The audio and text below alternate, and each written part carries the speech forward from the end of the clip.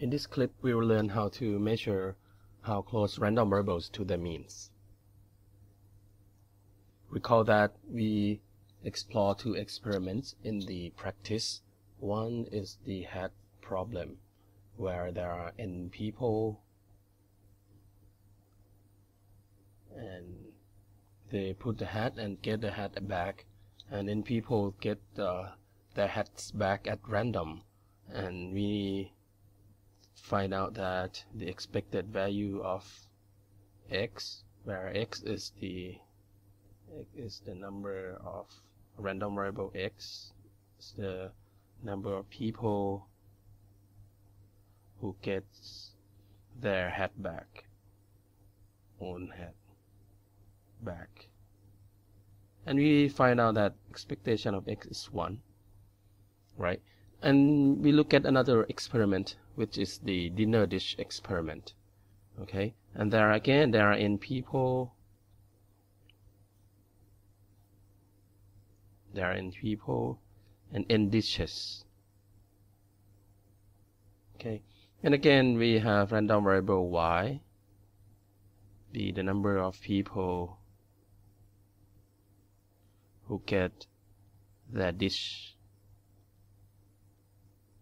on this and again we figure out that the expected value of y is also 1 right?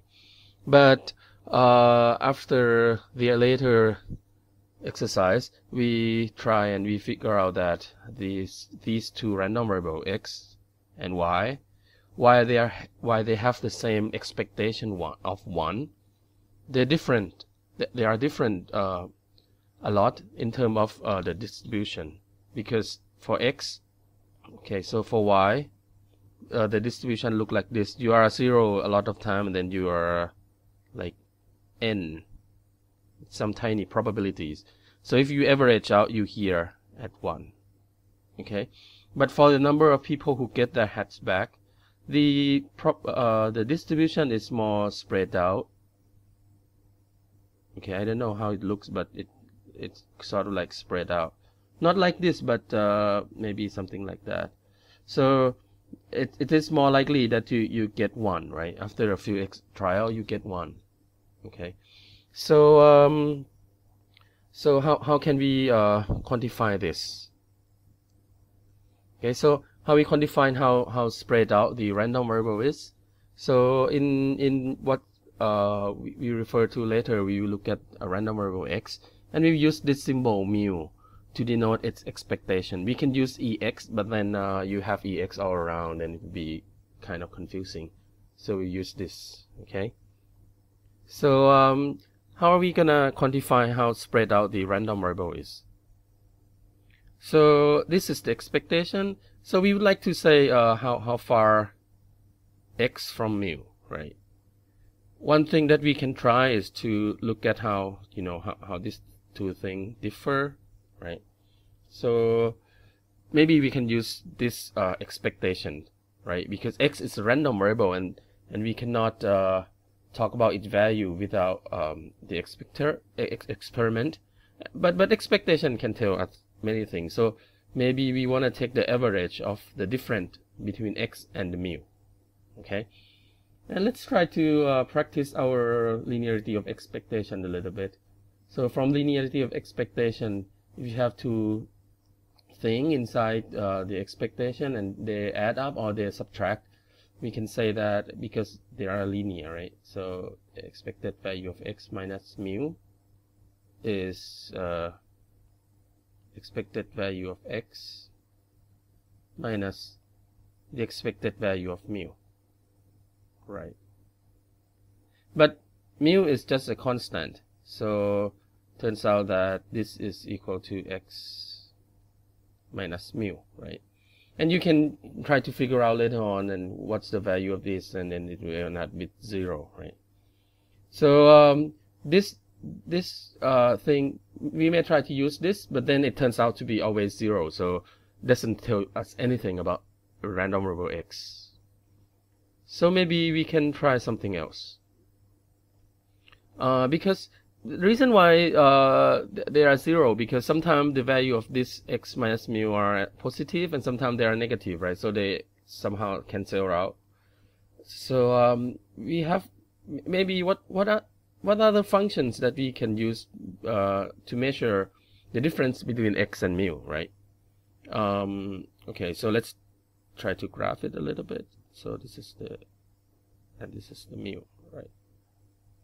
You would like to uh, measure how far x from the mu, right? So if you go further from the mu, you should have higher value, right? But the the original uh, x minus mu look like this. So this is mu, and then x x minus mu It's look look like that. So sometimes it's positive, sometimes it's negative. So uh, it's sort of cancel out. So maybe uh, what else can we do? Right. Um, you may think that uh, we can use uh, maybe we can just uh, take the absolute value, right? So absolute value of x minus mu, and this function look like this. So if x is greater than mu, and then it just go up like that. Sorry, it should be a, a linear, right? If x is uh, less than mu, then it look like this. Okay. This is kind of fine, but then um, uh, this function is not uh, smooth and so it's sometimes harder to deal with. So people usually use another function when they talk about difference, which is, so this is mu. Uh, this function sort of like give higher penalties to uh, the value that get further, so it's look like that. Okay. So this is the square difference. Okay. So so this is what we we we're gonna use. Okay. So this uh to so to measure how spread out is uh of the variable uh, random variable to its from its expectation we're going to use this term right okay so we measure the square difference, the expected square difference of x from its mean, right? And this, this term has been used a lot, so people give it a name. It is a variance of the random variable x. Okay, but this form, although this form is intuitive when we look at it, like what's what is this value? So okay, so it's the expected square difference from the mean, right? So it's, it's square, so it's difference, right? But somehow to compute variant the variance from this form is a little bit uh, difficult because uh, you have x and you have to subtract it and you have to square it, right? So we we will manipulate it a little bit to get a simpler form. Okay, so this is kind of a practice for the another practice for the linearity of expectation. So so we would like to compute this. Right. So let's expand it. So expected value of something equal should be equal, right? So x minus mu square is, is x square minus 2x mu plus mu square. Okay? And from the linearity linearity of expectation, we know that this is we can split the all the terms out right? So minus and 2 and the mu are constant so we can pull it out okay? So this we use the fact that and this fact you will show the fact yourself in the exercise. So this is a expected a times expected value of x plus c so this is so this is minus 2 mu times expected value of x. Okay. Plus this is just a constant. So the expected value of a constant is just a constant. So mu square. And uh, we leave this expected value of x square out. Uh, this is minus mu. Expected value of x is just mu, right? So it's minus 2 mu square plus mu square. so they cancel out so you get so let me rewrite mu as this. So it's minus expected value of, of x square. So it's the expected value of square of x minus the expected value of x square. So it's it's kind of nice. So this with this definition it's uh, computing the variance of a random variable will be much easier okay so that's what we're gonna do in the next clip